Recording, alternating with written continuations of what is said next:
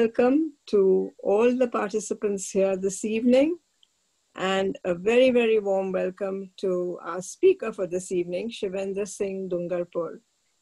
Um, I welcome you, Shivendra, on behalf of the chairperson of the CSMVS and the trustees of the CSMVS and the director general of the CSMVS and my own committee at the Museum Society. We're really delighted to have you address us. I think this is for the second time that you'll be speaking to us. Right. Am I right? That's right. Thank you. Yes.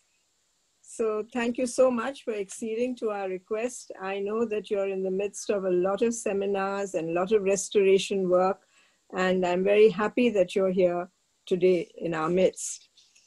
A few words about this topic, because we've only taken a small component this evening we're talking about women pioneers of early Indian cinema and what brought them in and who brought them in.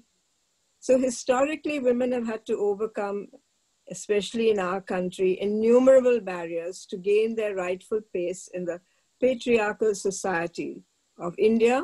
And in women, indeed, all over the world have had to do this. So too did women in 20th century India who had to overcome social taboos before they started performing in front of the camera to gain a foothold in the world of celluloid. At the very beginning, we have Durgabai Kamat and her daughter Kamlabai Gokhale, who were the first women to be cast by Dada Saheb Phalke in his 1913 film Mohini Bhasmasur, for which they were ostracized by their community. This left the door open for another group of women to slip in and take roles in the silent era, the Jewish community women, the Anglo-Indian women, who were not bound by the same traditions as the Hindu women and the Muslim women of those times, giving rise to a flock of rather glamorous screen goddesses of the silent era.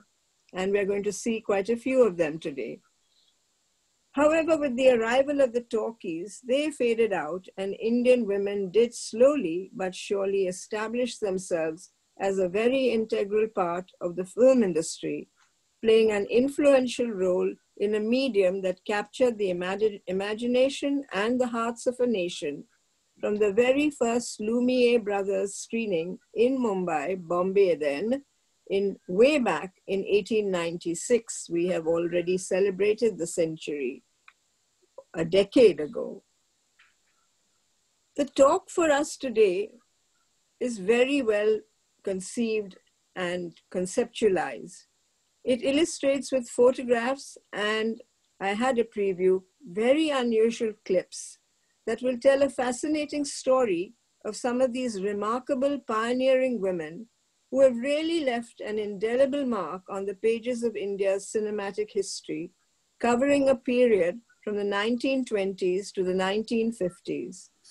Saraswati Bai Phalke, the wife of Dada Saheb Phalke, commonly referred to as the father of Indian cinema, and the glamorous Jewish Anglo-Indian women who you will see, like Patience Cooper and Ruby Myers, who we illustrated on the invitation for you, who became the earliest screen goddesses followed by Durgabai Kote, Shanta Apte, the stars of early Marathi cinema, and Fatma Begum, the first woman director, and her daughters, Zubeda and Sultana, stars of the silent era. The influence of the courtesans like Jaddanbai, followed by Devika Rani, really she was a stunning beauty, who helmed, helmed the iconic Bombay talkies with Himanshu Rai. Of course, Fearless Nadia, the stunt queen, who you will also see, who has become a cult figure today. T.P. Rajalakshmi, the first woman actor, director, and producer of the South Indian film industry, to name just a few. They were path breakers and change makers who broke the mold and made a significant contribution to the growth of the largest film industry in the world. Thank you, Shivendra. We are all looking forward to this wonderful feast. Thank you. But let me just say a few words about our wonderful speaker for this evening. Shivendra Singh Dungarpur. Shivendra Singh is an award-winning filmmaker, producer, film archivist, and I can vouch for it, restorer par excellence. He is the founder of Film Heritage Foundation. It's a not-for-profit organization dedicated to the preservation of India's cinematic heritage. Shivendra was elected to the Executive Committee of the International Federation of Film Archives in 2017 and again brings India great gain and fame a second term in 2019. Our congratulations to you. Thank you. Under the banner of Dungarpur Films, he has directed and produced close to 800 commercials. He made his first feature film, feature documentary rather, called Celluloid Man in 2012, and that won two national awards and traveled to over 50 festivals around the world. His second documentary, made in 2015, titled The Immortals, premiered at the Busan International Film Festival and won the Special Jury Award for the Best Film in 2016. His third documentary, titled CzechMate, in Search of Jiří Menzel is a seven hour epic that is an in depth exploration of the Czechoslovakian new wave that has won critical acclaim from cinephiles around the world. British Film Institute and Sight and Sound magazine voted this film in the top five releases of 2020. Oscar winning screenwriter and director Alexander Payne has hailed it as, and I quote, one of the greatest and most fascinating film docs I have ever, ever seen, end quote. I do not wish to stand between the visuals and the speaker this evening. So with all of us with me, my Museum Society team and the team at CSMVS, a very, very warm and cordial welcome to you, Shivendra, and now I request the technical team to switch our screens and hand you over to the speaker. Enjoy the evening and ask all your questions at the end. Thank you so very, very much. Thank, thank you. you. Uh, thank, thank you for those wonderful words. And uh, I really uh, want to thank you for all the support. I want to thank uh, the Museum Society uh, for for inviting me and the CSMVS, the entire staff, and everyone who's worked towards uh, getting this uh, uh, this talk going. Well, when you when you uh, when I was asked to talk about women pioneers of Indian cinema, uh, you know, it's not something which I do most of the time, even though I am a student of film history and and as an archivist, as a restorer. Uh, one is constantly, uh, constantly coming across a lot of material uh, or interacting with, with, with women like Kamini Kaushal all the time. so the perspective which I had to take was uh, also with the fascinating part of history, which I have uh, sort of met people connected with them or dealt with them or preserved some bit of their material. Um, and to look at it from a purely not so much because so much has been spoken about the social context uh, and the political context and also the historical context of what was happening in india at that time. But to look at these individuals because we have a limited time of 40 minutes uh, i didn't want to take away from who these women were.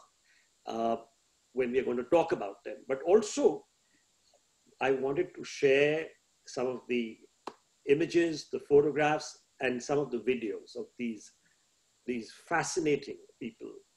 And some of my favorites, you know, really, if you look at cinema history, uh, these iconic ladies, uh, why were they not around today for us to take cinema into a different league? Also, uh, my talk will end with the end of the talkie, with the end of the studio system, I'm not going into the era of Meena Kumari, Madhubala, because so much has been spoken, so much has been seen, so much YouTube videos are flooded with them. So with Nutan and that generation of film of film actors, which which were also pioneers in many ways in different reasons. But my talk would end with the end of so-called the studio system. Uh, let me let me start uh, with with I think what Firoza said right at the beginning, but let me start with three crucial points. And I'm going to keep it very simple so that so that we enjoy the whole process and not flood you with lots of names, lots of things. You know, we all know that the first Indian film was uh, was conceived and made in 1913. Uh, there is, of course, a controversy about whether it was Torne or Phalke, but always my theory as an archivist and a preserver is that 1913, when Raja Harishchandra was made by Phalke, uh, it was shot in Bombay, but he went and ended the film in Nasik. And uh, the whole debate about whether the Hindi film industry originated in, in Mumbai is untrue. It, it all started in Calcutta. So the Maharashtra was for Marathi films. And Phalke was making it silent, but the whole, if you really look at it, uh, look at some of the early silent films, you can see them speaking Marathi in that without the sound.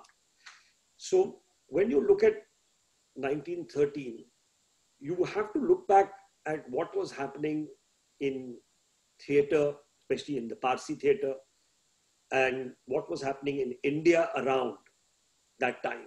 And the three key things which we understood.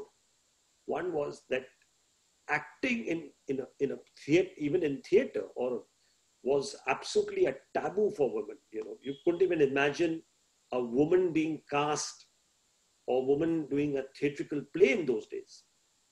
And when it came to cinema, it continued to, to even films. And the first female roles were enacted by men. And, you know, it's a very interesting story which I want to tell you about Bal Gandharv. He's the famous Marathi singer and actor, and he's known for playing female characters in Marathi plays.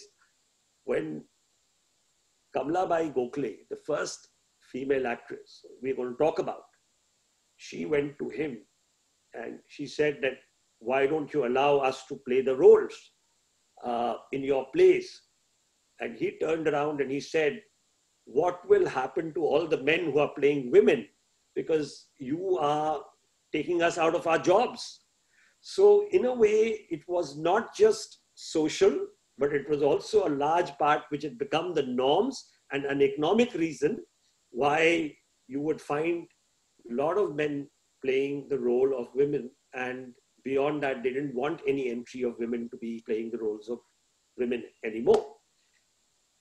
When Phalke started Raja Harishchandra, we're going to see a clips. But before we see the clips of Raja Harishchandra, uh, the role of Taramati, the film is about Raja Harishchandra and Taramati. Uh, and there's a famous pond sequence. And if you ever go to Nasik, you can still go and see, you can find Phalke's house. You can still go and see the pond. Obviously, it's in a different shape now, but uh, the pond still exists. And what was interesting was that Phalke was not very keen to cast a woman in that role. Uh, but somehow Saraswati Bai, Phalke's wife, said that you should try and look. And he went looking at, you know, he couldn't even find a prostitute to play that role. And finally, he did find one prostitute. And uh, she, poor thing, when she got to know that she has to be in front of the camera, she just one day vanished. And again, he had to search. And whom he found was, uh, was a cook uh, by the name of Anna Salunke. And, uh, you know, he, he cast him for the role of Taramati. And we're going to see this in the clip. And he paid her 15 rupees in those days. And uh, you know he had feminine features and he enjoyed. But what is interesting is we're going to see another clip just after that is a, from a film called lanka dahan made in 1917 by phalke. And look at what he did. He casted ram and sita. Both. He casted anna salunke playing double role in that film. He was also ram And he was also Sita in the film. And that was fascinating for me, you know, because to think in that manner that, and, and the audience to accept that, the fact that, that he's playing Ram and Sita. So we're going to watch both the clips, one after the other. Let's have a look at, at playing in Raja Harishchandra. And you can see in the pond below, is that's Anna Salunke. Uh, and uh, you, you, you can and you can see here Lanka Dahan, and you will see in a, in a particular portion uh, Anna Salunke coming in both the roles. And that's Anna Salunke again. And this is, you can see both, him as Ram and him as Sita.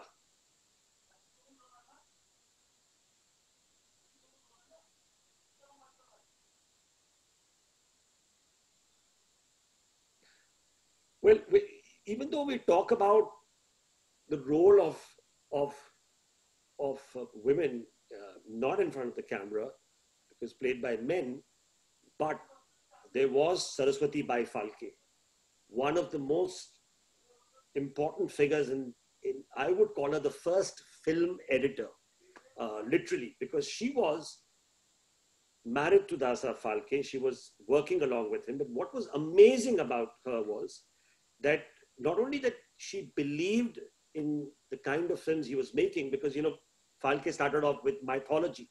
Uh, most of his early films were based on mythological figures because, because in a way, they, they could be looked upon as what was happening around in that country with the British rule. He was making these mythology films. And he himself was inspired by Life of Christ, which he had seen. And Saraswati Bai was uh, not only working tirelessly on the sets, but she was mixing film developing chemicals. She was perforating film sheets. You know, those days used to get film rolls uh, without perforation, which used to go into the camera or used to be processed. And she would indigenously created a sprocket to actually punch the film reels. And she would even use white bed sheets as light reflectors. You know, in the hot sun when Dasa Phalke was shooting, she would stand there with those white bed sheets. And more importantly, you know, for me, she provided the strong emotional support to his dream and even sold his jewelry, uh, sold her jewelry so that she could go to, so that he could go to London to learn the art of filmmaking from Cecil Hepworth and buy equipment.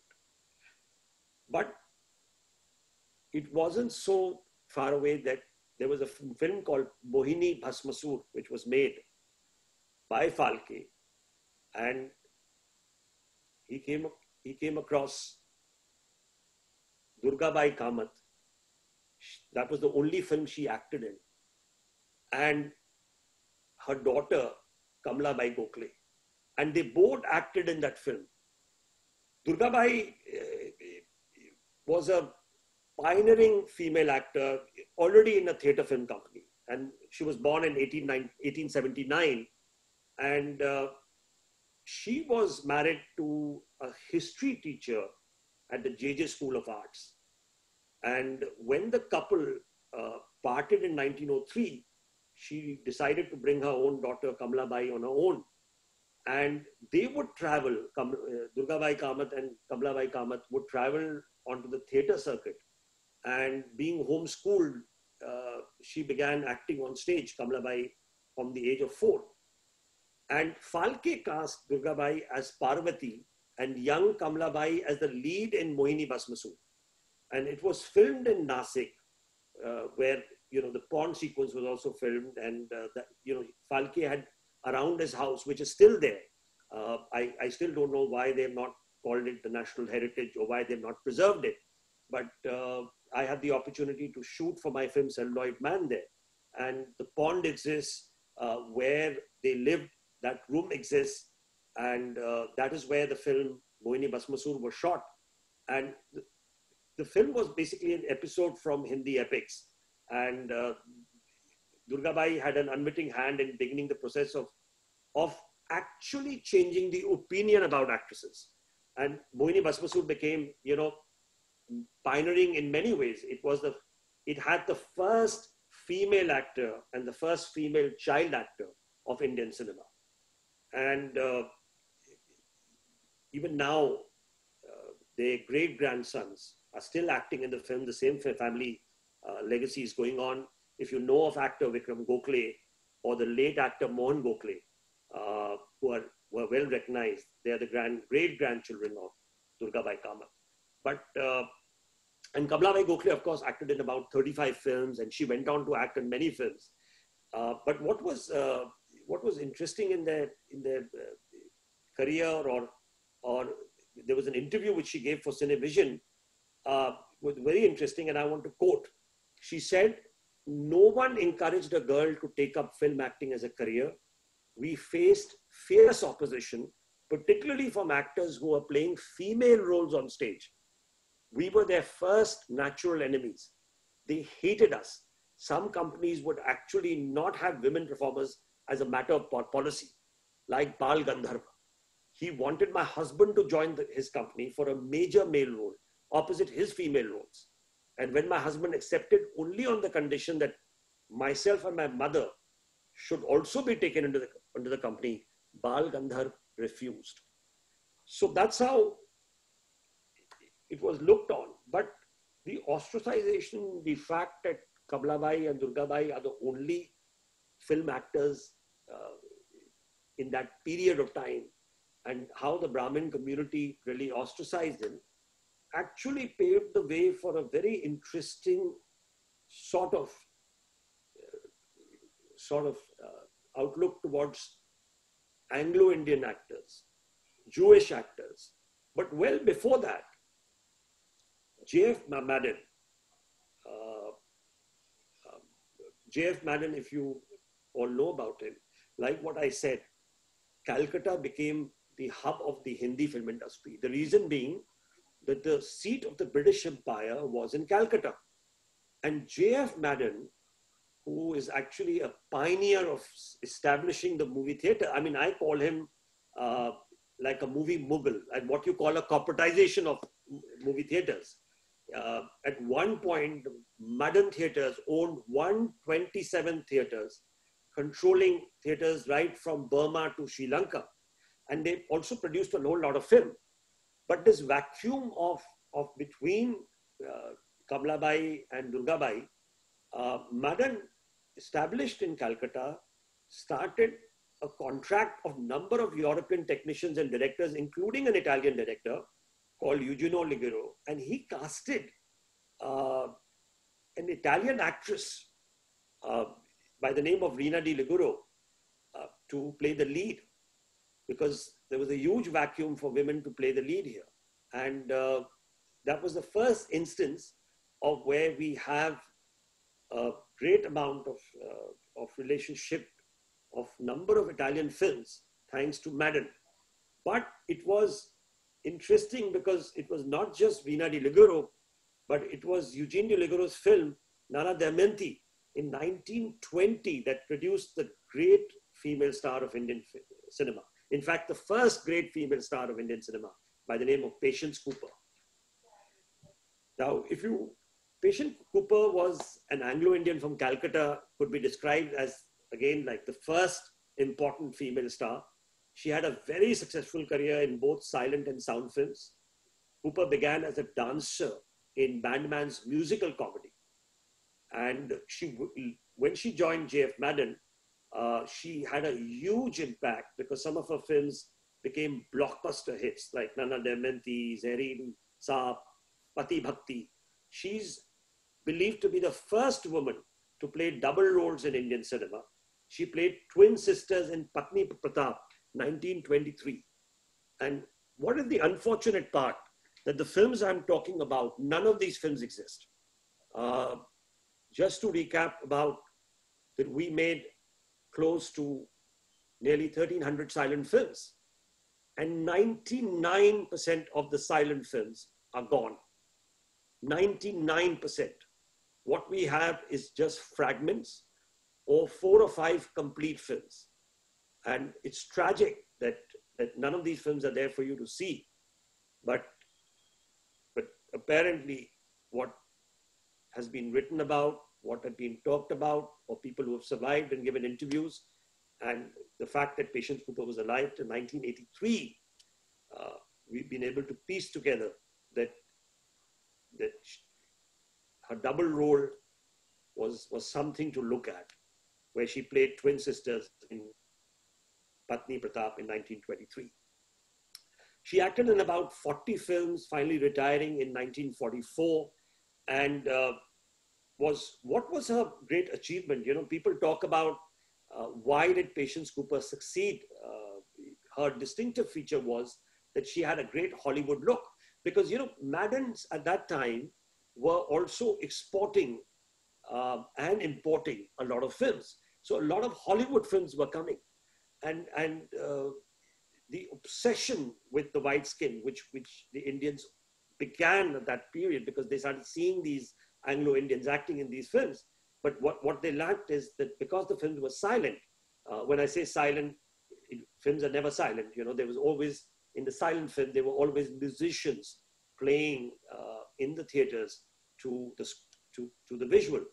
But when you had these Anglo-Indians working and the obsession with the white skin, there was something very distinctive about Patience Cooper. Her dark eyes, her sharp features, ebony hair, light skin tone. And it allowed the film technicians, the silent film technicians, to experiment with imported techniques of eye level lighting. And you know, they wanted to achieve very similar to what the Hollywood stars of the silent era was there. Now, if you look at that period, uh, it took a while for acting in films to attract women from, from traditional Hindu households or Muslim households. And we have spoken about how Jews and Anglo Indians got in.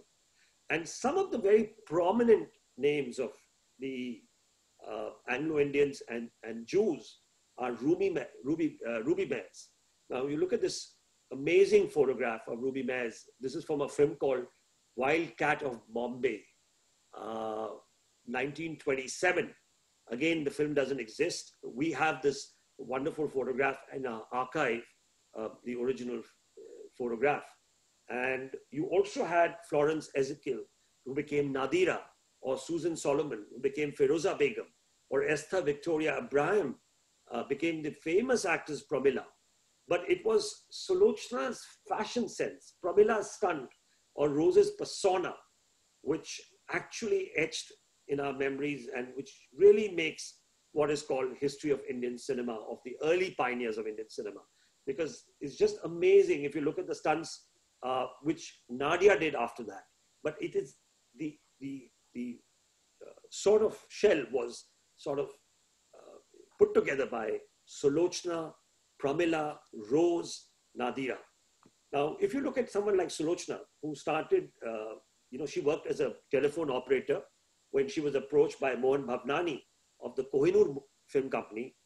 And, uh, you know, there was a time when they said that she was earning more than the governor of Bombay at one time. And the titles of films also would have Sulochana starring, you know, because Sulochana became the star of the film. I mean, if you look at all these titles, you will see that her name comes right in, in on top. And uh, she owned the latest models of cars in 1927. And what is so interesting about Wildcat of Bombay? Wildcat of Bombay, she played eight different roles from a Hyderabadi gentleman to a blonde bombshell. I mean, this amazing eight roles. We have a lot of photographs from that film, but unfortunately, no visual film survives. And you know, it's tragic that I would have loved to see Sulochana playing eight different roles uh, and even playing a Hyderabadi gentleman. She was, of course, awarded the Dasa Phalke Award. And she was what we call uh, the first superstar. Patience Cooper will be the first female star in that sense. But the first super superstar was, uh, was Ruby Myers, uh, who was known as Sulochana. Um, and, and you can see that she worked in different companies, uh, Imperial, and, and uh, that was one of the big production houses. But the other actress to, at that time, to come in prominence was Pramila. She was a Baghdadi Jew. She worked as a teacher in Jewish school in Calcutta, where she was discovered, regularly played the vamp and did, daring stunts. She was also winner of the Miss Pageant in 1947. And in 1930s and 40s, she acted in a series of films, alternating between swashbuckling, stunt roles, and even doing vamp roles like Tufani Tiruni, Dilawar, Janmabhoomi, Hamari Betiya, uh, Bijli, you know, so many films. And uh, she went on to also, you know, establish her own production company in the early 40s and produced something like 16 films under her banner. Um, and at, at one stage, very interesting story I have, at one stage, Pramila used to go to Pakistan quite often because uh, she had an office in Karachi to distribute films for production company. This is well after uh, partition and things. And intrigued by her frequent trips to Pakistan, Morarji Desai, who was the chief minister of Bombay, had her wrongly arrested as a spy uh, because, because he says, why are you going continuously to, to Pakistan? And she was arrested as a spy for a while. Uh, but not only, you know, what was amazing about her is that she not only designed avant-garde clothes, uh, and she was deeply inspired by Art Deco geometric patterns, but she also asked Ardeshir Irani of Imperial Studios to work on the costumes and sets of the second Technicolor film, Mother India, long before Mehboob Khan had made his film. So she was, uh, she was someone who had so many facets around her and was, I think, a true pioneer in many, many ways. Now, you can, you can clearly see that whether all these ladies were being launched and were found in Calcutta. And you can well imagine the role Calcutta had right till the beginning of cinema because of Madan, because Madan cinemas were declining in 1927. Like between 1923 and 1927, they were declining. And uh, also for the fact that when the early studio system came in, some of the greatest stars of, of the early talkies era were all from Calcutta, whether it was K.L. Sehgal, Prithviraj Kapoor, Durga Khote, they all were part of the new theaters. And we're going to talk about that uh, just a while ago. But should we only look at Calcutta and Bombay? Actually, filmmaking started in three port cities Chennai, Calcutta, and Bombay. And that's one of the reasons which I keep talking about in my, uh, in my lecture about what has really happened to films in these, why we lost so much of these films. We lost so many of these films because they were made in nitrate. Nitrate had highly flammable kind, of qualities. But what is really important is that they were also, these films were produced in the port cities, which had high humidity level, whether it's Chennai, Calcutta, and Bombay. And that is why we see that number of silent films which have disappeared and number of films which have gone. It's, it's a shame that we have lost 99% of our heritage. But in Chennai, also at the same time, there was a man by the name of Nataraja Mudaliar. He's called the father of Tamil cinema, but I would call him the father of the South Indian cinema. And, you know, he was a automobile, uh, uh, you know, garage owner, and he would sell parts. And he made the first in South Indian film called Kichaka Vadam. But even in his films, at those days, it was very difficult to get, in, especially in the South, uh, women to act in films. And he had to also find Anglo Indians like Marian Hill, and they had to change the name as Vilochana uh, or Mrs. Elliot of GPC for some of the earliest films. In fact, some of the British, you know, he would he would he would travel, he would go and look for women who could play the part, and and uh, he was obviously very, very adamant that, that he should actually get women to play the part of women. And uh, that led to a lot of Anglo Indians uh, to, to come forward and uh, act, and he was able to find these two women. Now, when you, when you sort of look at that period, the most important character or the most important stunt queen, I would call her, was Fearless Nadia. Now, but Nadia was uh, born in Australia. She came to India as a little girl um, and she started her career in 1935 with the Wadia Movietone called Hunter Wali. And over the next decade, Nadia went on to star in over 50 films like Diamond Queen, Frontier Mail, Jungle Princess. But I want you to see a clip of Nadia. I know many of you may have seen, but let's see a clip of Nadia because it's just amazing to see uh, that the kind of stunts in every single film she would do, from swinging from the chandelier, jumping off cliffs, to fighting a speeding train. Uh, so let's have a look at a clip from Nadia. From a called Miss Contemporary.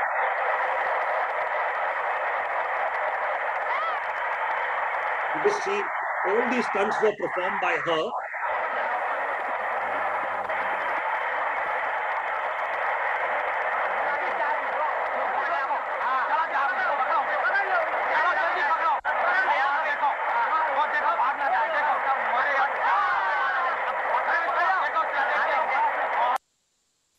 I mean, and, uh, this virtual medium uh, doesn't allow us to have longer clips and it, and it doesn't play that well.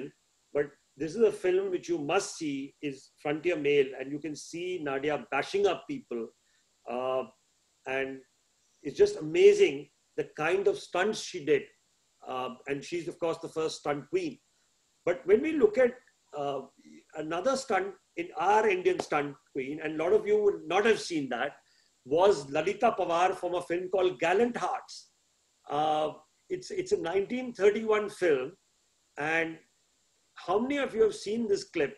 Let's play this clip, and you can see how swashbuckling Lalita Pawar. We all know Lalita Pawar as the, the, the bad woman or in, you know, those kind of roles. But Lalita Pawar is a swashbuckling lady. Yeah, okay, let's see the link.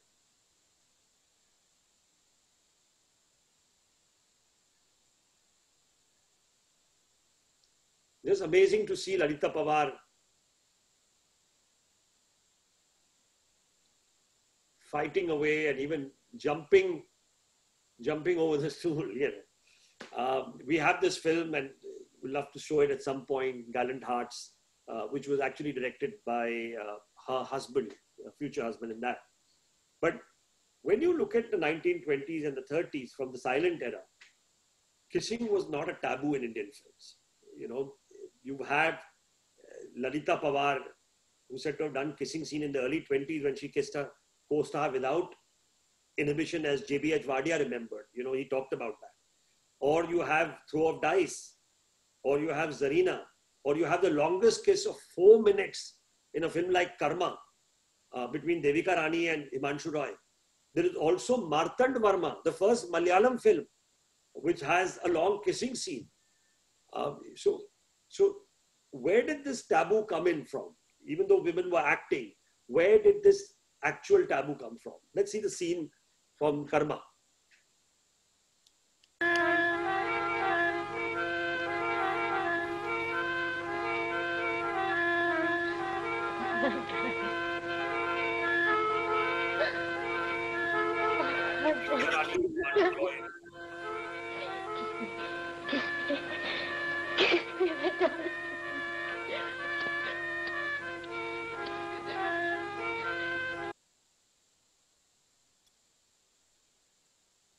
And I want to show another clip of Martand Varma, which is a Malayalam film, uh, the first Malayalam film uh, in the sense that this is the only surviving silent Malayalam film made in 1931.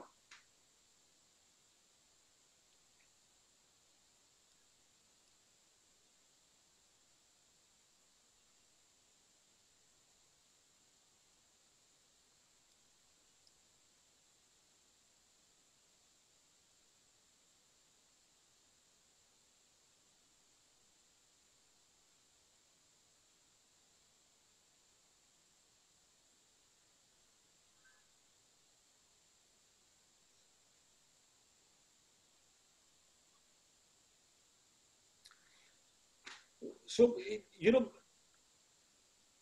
in 1927, uh, the British were getting very worried about, uh, about what was happening in our films. Um, and they set up a, a censor committee, a so called censorship committee. and the new act of censorship came in very quickly. And it was during that period that women who were, I mean, you had quite a freedom in terms of censure, in terms of, uh, in, in, in terms of kissing, suddenly went into a censorship. And you would see that change after the 1932-33. Uh, and uh, slowly by 1940, it was really a taboo to even kiss in that. And then, of course, in the 50s, we had the flowers coming in between, and it became worse and worse as the years went by. So the censorship, in many ways, had a had a very impactful uh, change, which lasted for nearly 25 years. And and today we are we are part of the censorship which has been put together in 1952 so nothing has changed for so many years, though so many things have sort of evolved. So you had to you had to find ways in that time to be able to show a man and a woman uh, together in the later half of the 1930s. Now, now just to understand a bit about the silent era films, which, which lasted till 1931, 1932, and the beginning of talkies, which was coming in the 1932, 1933. And apart from the Anglo-Indians and the Jews, there was, there was two very, very important women pioneers, I would call them. One is that it also paved the way for a lot of courtesans, but there was a very interesting uh, women pioneer by the name of Fatima Begum. Now, the history goes that she was the wife of Nawab Saab of Sachin. And one night, along with her three daughters, she escaped from the Nawab Saab's palace because she had interest in making films. And she landed up into Bombay. Now, where is Sachin? Sachin is a princely state near Surat in Gujarat. And she came here and she set up the Victoria Fatima Film Company. And most amazing that she went on to direct her first film in 1926, which was called Bulbule Paristan. And her daughters, Sultana, Shehzadi, Zubeda, became silent film stars. And before I start what is Alam Ara, uh, I just wanted to talk about that, that Alam Ara was made in 1931, but the, the influence Fatima Begum had, her studio was in Bandra, and it was called the Victoria Fatima Film Company. And along with her daughters, because many of the films, uh, Zubeda, who went on to be a huge star.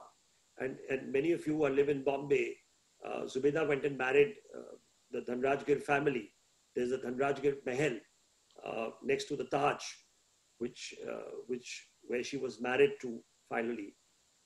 And, uh, but her mother, Fatima Begum, is truly a pioneer who not only directed, but saw to it. And th there are various theories about how the daughters were picked up.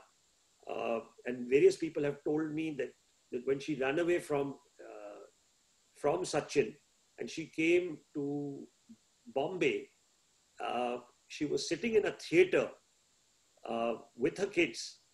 And there was a Parsi gentleman who approached them and said, would you want to act in, you know, your daughters are pretty, would they would want to act in a film? And she got interested. And she said, not only them, but I have a story, I have a script.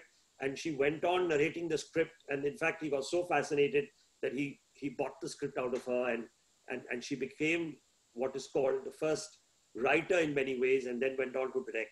Now, we do not know if the truth of the story, but the fact is that she, that she was so fascinated with cinema that she was willing to leave Nawab Saab's palace and leave the Janana, you know, where the women were, and to enter a world where her, her three daughters also became the superstar. So Fatima Begum is India's first woman director. But talkies were sort of coming in, silent era was sort of was sort of diminishing. And it was difficult for the Anglo-Indians or the Jews to be able to speak dialogues, especially in the Hindi, you know, uh, or the or the various uh, languages which were which were evolving, whether it was Bengali in Calcutta or whether it was Tamil in in, in Chennai or it was Hindi in. Uh, and this is also the era of the of the studio era, which which was coming in, because I would divide the two eras as 1913 to 1924 as what I would call it the cottage industry period. And in that cottage industry period, there was only one Mughal, and that was J.F. Madan.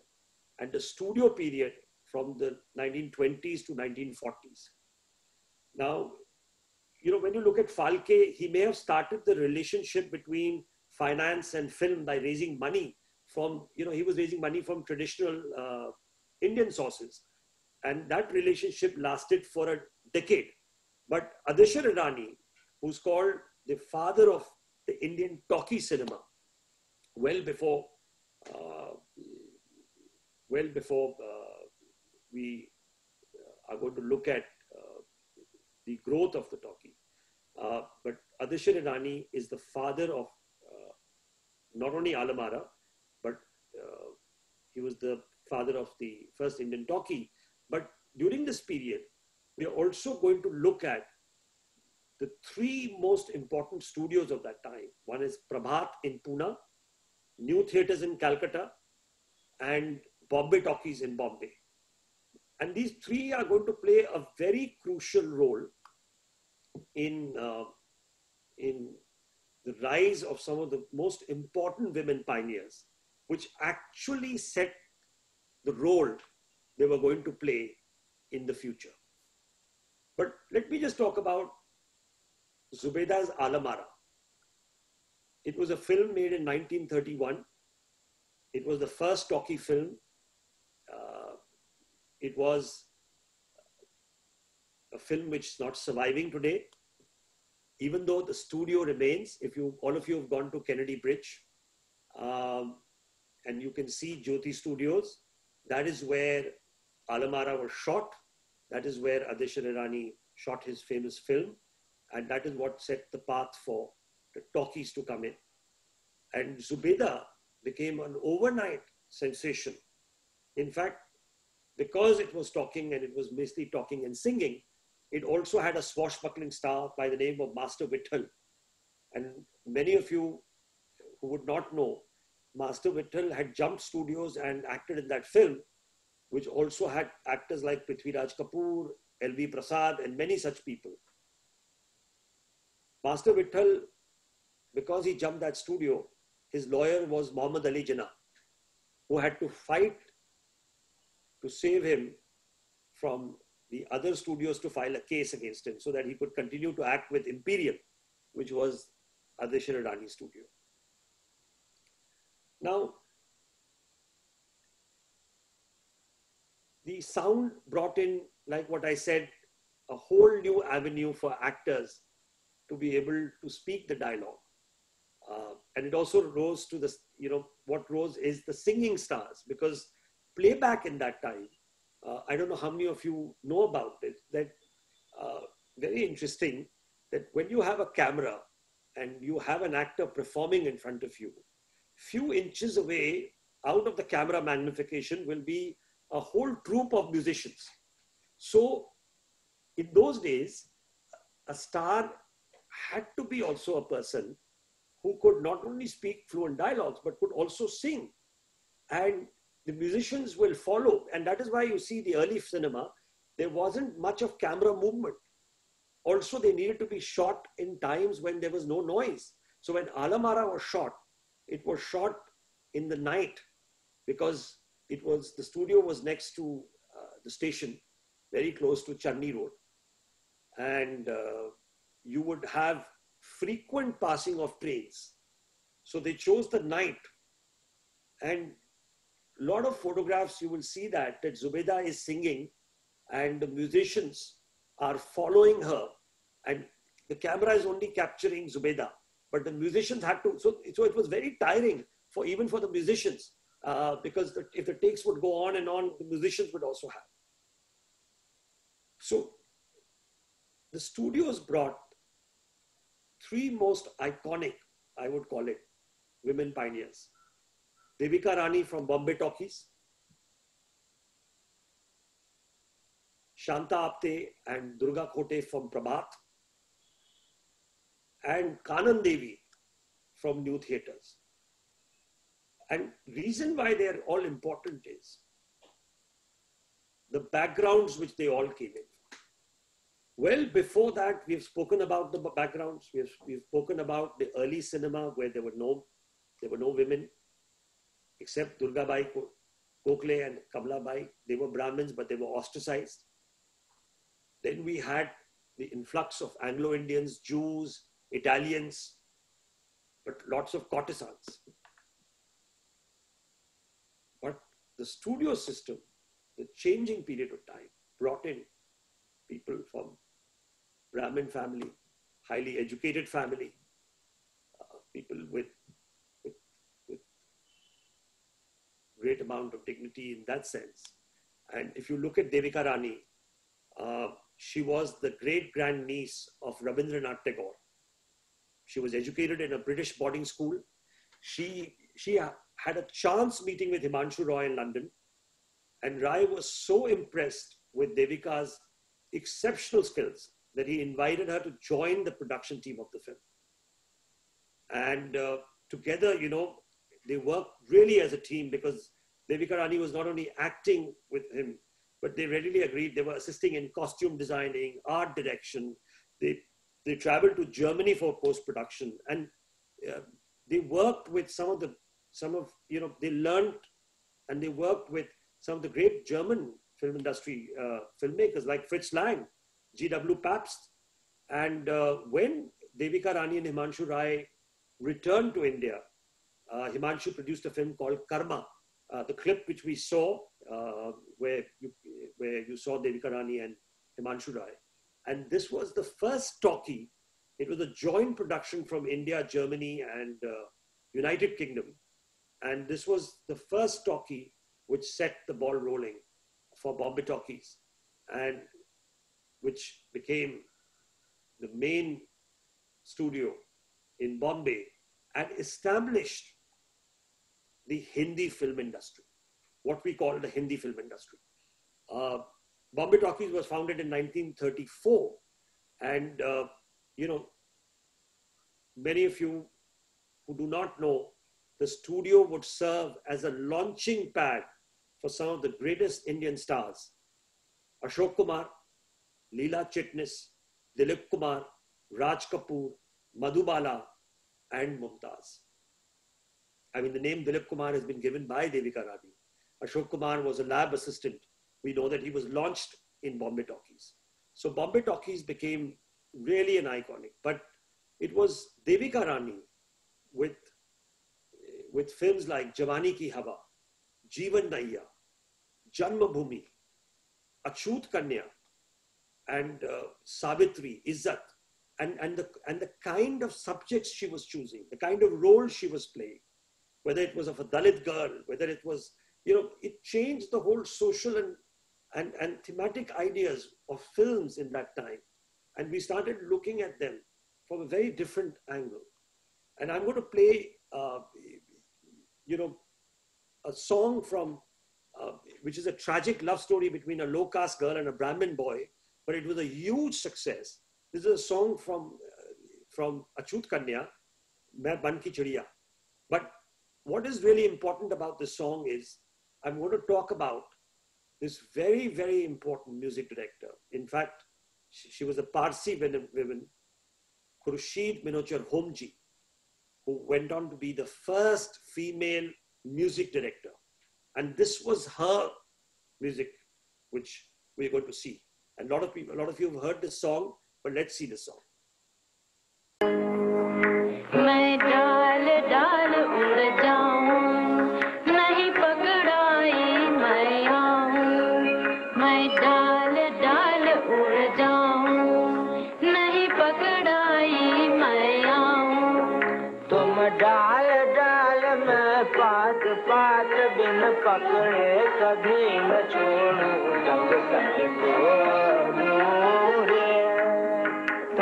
डाल डाल मैं पात पात बिन पकड़े कभी न छोड़ू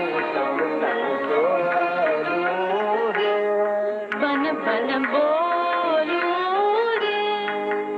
मैं बन के चिड़िया बन के बन बन बोलू रे। What a beautiful song. It's not just Devika Rani, but it's this amazing woman, Saraswati Devi. And, and you know, we talk about, all along, we talk about that uh, the, uh, the, the way the Parsi community, they're so forward in, in their thinking. But when Khurshid Minochar Homji, she was, you know, educated, middle class Parsi family. She, along with her sister, were disciples of the famous teacher Pandit Bhatkhande. And, you know, when both the sisters sang for a film for Javani Ki Hawa in 1935, the entire Parsi community rose against them. A Parsi community paper launched a vicious campaign against them in Himanshu Roy, and the unit was even threatened. And to avoid condemnation, Khurshid, she was forced to change her name to Saraswati Devi. And her sister became, from Manik, became Chandraprabha. And notwithstanding these obstacles, Khurshid found a firm footing in the film world and became a key player of Bombay Talkies. And where Himanshu Rai gave her a free hand with her music. And she set up a separate music department, assembled a group of skilled musicians. And, you know, in those days, they had tough competition from the new theaters, which had the great K.L. Sehgal. But she still, Khurshid is remembered for her compositions in films like Achut Kanya, Jeevan Naiya, Durga, Navjeevan, Azad. Just amazing that what she had to undergo. And for me, Devika Rani and Saraswati Devi will be the two pioneering women of that time uh, who really changed the way cinema was being looked upon. And uh, many of you uh, would, would not know that Mughal Azam was launched by Bombay Talkies, K. Asif, with K. Asif. And the music director was Saraswati Devi way back in the 40s. And it was, it was later because the producer Shahid Al he sold the famous studios and they had to find another producer uh, that it changed hands and Naushad came in and the actors changed and things. But the film was launched with Bombay Talkies production and with K. Asif as a director, with Saraswati Devi as the music director. Another woman, we are talking about the early entries of, of courtesans at that time. But one such woman who people remember now as Nargis's mother was Jaddanbai. Again, Jaddanbai was settled in Calcutta. Uh, she was uh, an amazing personality. Her transformation from a courtesan to a singer, actor, filmmaker, uh, you know, many films. She was the daughter of Dalip Bhai, a famous courtesan. Jaddanbai grew up in Calcutta where she was trained in classical music. Uh, also, uh, you know, her reputation grew because her mother was a famous tawaif. She performed in Maharaja's courts in Bikaner, Jodhpur, Indore. But what is amazing is that within four years of her entry into films, she started her own production company called Sangeet Films. And the company produced in 1935 a film called Talash Haq, which is not available again. And she not only acted with her daughter, Nargis as a child artist, but she also composed the music. And uh, in 1936, she acted, directed, and wrote the music for a film called Madam Fashion. So these were really iconic women, parallelly as part of the cottage industry, not part of the studio system, who were following in the same years, but creating waves by, by not only playing music, but also directing films. Now, we talked about Prabhat, and I think we are running short of time, but I want to quickly talk about two women of Prabhat uh, who are going to play a very, very important role in the years to come. One is, of course, Shanta Apte. Shanta Apte, uh, you know, she became the decade of singing stars, like what I was talking about, like Kanan Devi, KL Sehgal. And she brought a change in the static style of song renditions. And when she got her first break with a film called Amrit Manthan, um, which is uh, in 1934, which was directed by V. Shantaram, she played the role of a young girl, Nirmala. And uh, it, it's a film which got her a lot of applause till she got her lifetime film called Kunku. And very interestingly, she was such a strong personality because Shantaram talks about her being so strong uh, on the set. But it was in 1930s when the Film India criticized her for acting in a film. The editor of Film India, Babu Rao Patel, who was a ferocious gentleman and a journalist and fearless to the core, and he was, you know, if people have heard of him, he was regarded as the terror of journalism. And Babu Rao was a giant in the field of film journalism. But uh, Shanta Apte entered his office with a whip in her hand. She whipped Babu Rao Patel to the utter horror of all present. And for one, Shanta Apte's whip became mightier than the sword-like pen of Babu Rao Patel. The most interesting part of the story is Babu Rao published the whipping story in his magazine itself. And Shanta Apte, of course, is, uh, you know, she had several disputes with the studio, even went on on a hunger strike to protest to pressure Prabhat Studios to let her out of her exclusion co contract. She also wrote her autobiography and uh, one of the most very strong personalities of that time. And here is one clip from Kunku, uh, one of my favorite clips in Marathi, which was made Dunya Na Mane in Hindi. But it, it, it, it is a Prabhat film uh, of that time. रचील। प्रभुने।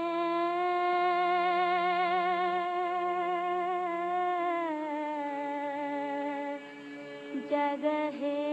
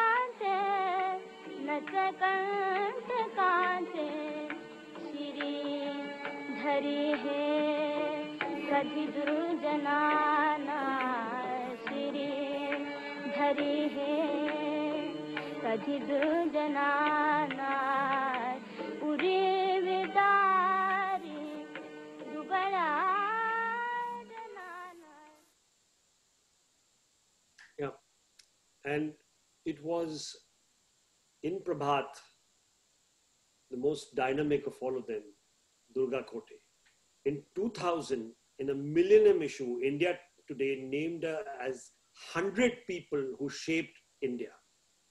Nothing. Durga Khote marks the pioneering phase of women in Indian cinema, as she was the first woman from a respectable family to enter the film industry and break the social taboo.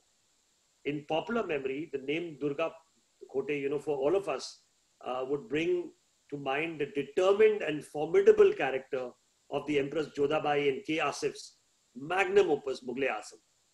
But Durga Khote, given a background, you know, she studied at Cathedral and John Connon High School in Bombay, did a BA from St. Xavier's College. She got married as a teenager, and by the age of 26, Durga Khote was widowed mother with two sons, Bakul and Harin. She had to seek work in, to support her children. So when the great filmmaker V. Shantaram decided to cast Durga Bai, as she was known in the industry, as the heroine in this re remake of Raja Harishchandra story in 1932, Ayodhya Raja in Marathi. Uh, in fact, the novelty of someone of Khote's background acting in film was so immense that the advertisement for a debut film proclaimed introducing the daughter of the famous solicitor, Mr. Laud. And Mr. Laud was truly progressive because when his daughter first film, Farebi Jal in 1931 sank without a trace, he reportedly told Devi, uh, Durga, Durgabai, I don't care what the rest of the film is like, but you have shown a way for women to earn a living. And, and one of the most remarkable roles, which I think, according to me, and I've chosen that clip, is from a film called Amar Jyoti, directed by V. Shantaram. Uh, in this film, Durga Khote plays the warrior queen Saudamani, faced with extreme patriarchy in an ancient seaport kingdom. And you can just see uh, the, the kind of intensity she had, and which, which according to me, is the, is, is, is the beginning of change in the way we look at women in Indian cinema. जिस बेटे को मैंने नौ महीने पेट में रखा, जान देकर पाला, उस पर मेरा, उसकी माँ का कोई हक नहीं। वो भी एक पति नामधारी नादान आदमी की मिल्कियत। इसलिए वो रानी मेरा बेटा मुझसे छिनवा देती। फिर भी मैं चुप रहूँ? मेरी और तमाम औरतों की दुश्मन उस रानी से मैं क्यों न बदला लूँ? इस बदले के लिए क्यों न जानी बनूं? ज़रूर बनूँगी। और उस रानी के जरे रहकर अत्याचार फैलाने वाले ऐसे मुंसफी के अहदे पर बैठकर बेइंसाफी करने वाले इस दुर्जे से मैंने बदला लिया बदला ले लिया यही मेरी सबसे बड़ी बहादुरी है I'm going to, because we have shortage of time, I'm going to end with the last pioneer of, uh, and I could not end with, with also with one of the clips of my, one of my favorite film actors, co-star of Kanan Devi, KL Sehgal. But I want to talk about Kanan Devi and the New Theatres. You know, New Theatres was just a remarkable studio which has given some of the most iconic films. But what is, what is, what is important is that uh, one of the most iconic, which made it so iconic, was was because of Kanan Devi. Her persona, her determination, her courage, uh, and she became a legend. And even in Bengal today, we go, you want to hear Kanan Devi's song or musicals. And uh, she, she was an amateur singer when she joined.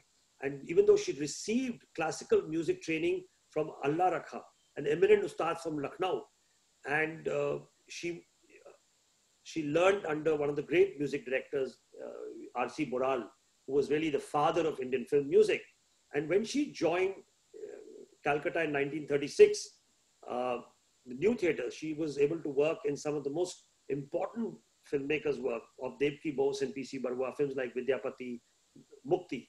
But the culmination of Kanan's career, however, was her appearance with K.L. Sehgal as heroine in New Theater's greatest music hill, Street Singer directed by Fani Mazumdar. And uh,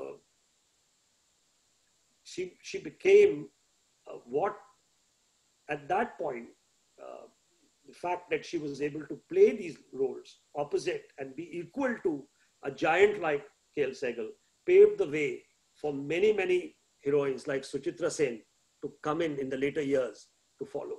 So let's hear this song uh, from before I end my talk about the women pioneers of early cinema. है क्या कोई सुहावन सपना?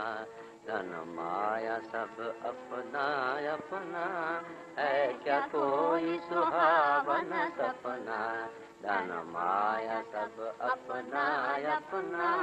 नाही नाही खुली आँख में, नाही नाही नाही खुली आँख में। सपना कहाँ समाए?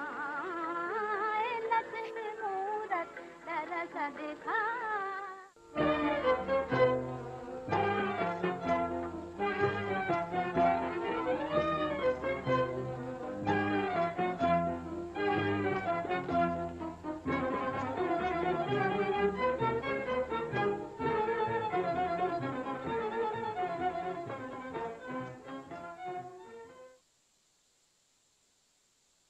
I'm sorry because we've run out of time and there will there'll be a few questions. There was there was much more than what I want was anticipating and I couldn't fit in. And uh, but uh, I hope it gives you an idea of the very early period of of women cinema. I would have preferred an actual talk with audience sitting around. It's much better and the clips is play much better. But thank you so much for, for inviting me. And uh, I'm sorry to, to sort of end it in this particular way.